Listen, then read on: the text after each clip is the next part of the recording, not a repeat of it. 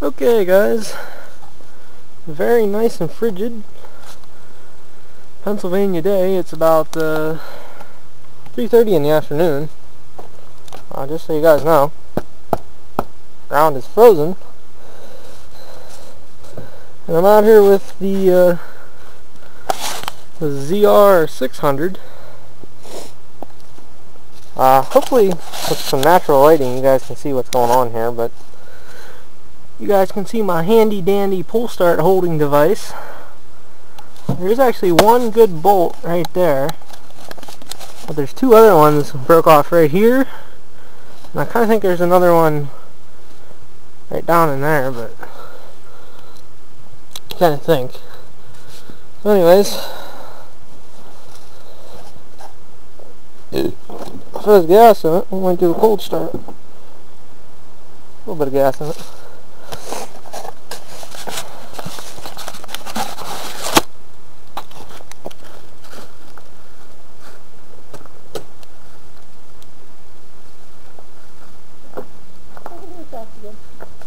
Yep, camera's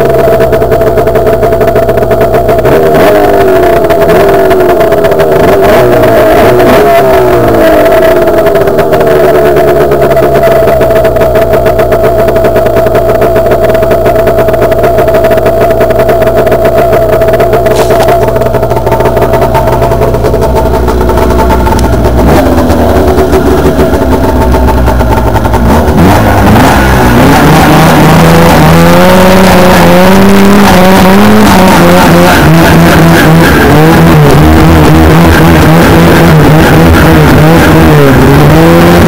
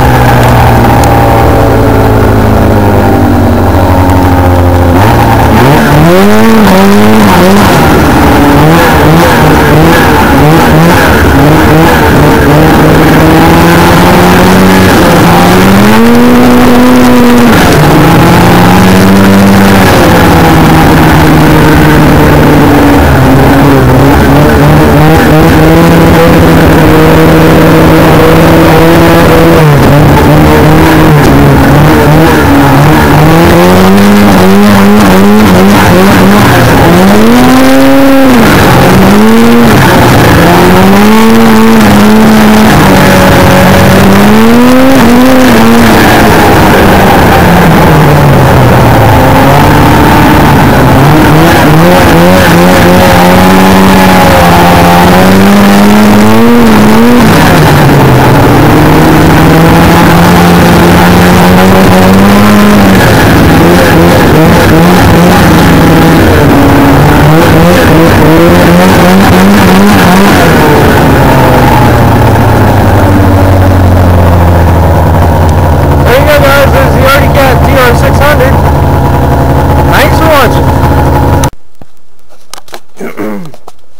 Okay guys, just a little more in on this uh, ZR600.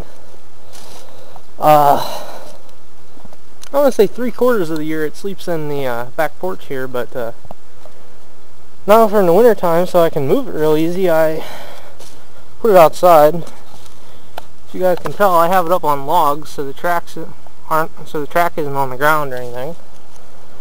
And I also have the skis up on a piece of plywood in the front. It also has this uh, original Arctic Cat, uh, and it says ZR on the side, uh, snowmobile cover. Uh, just has the zipper in here so you can get to the gas tank and the key and stuff. Uh, because, well, any of you guys at snowmobile know, it's a pain in the ass whenever your uh, ass is wet all day long. So, uh, this is the li liquid cooled 600 uh, Suzuki. Um, this one here has the, uh, the ELT extra long travel suspension system in it. This sled rides really nice. It's a lot of fun to jump. Um, it rides nice. Um, yeah, and just a few pointers I'd point out for, you know, if you want to take a spin in your grass or whatever. Uh, before you go anywhere, you want to take and put a lot of water down here on the track around the sliders. And you don't really want to run it too long without snow in it because it'll uh, burn the track up and or the sliders. That's just uh, bad news and it's not really a good idea. I know uh, Peppercat Keese has changed the track on his. Mine has a few bad spots to it. It has quite a few of the uh, few of the ice picks ripped out. Because I mean I do run it a little bit you know when I shouldn't be when there's no snow which really is what gets the tracks. This track is starting to peel apart a little bit, but it's not too bad.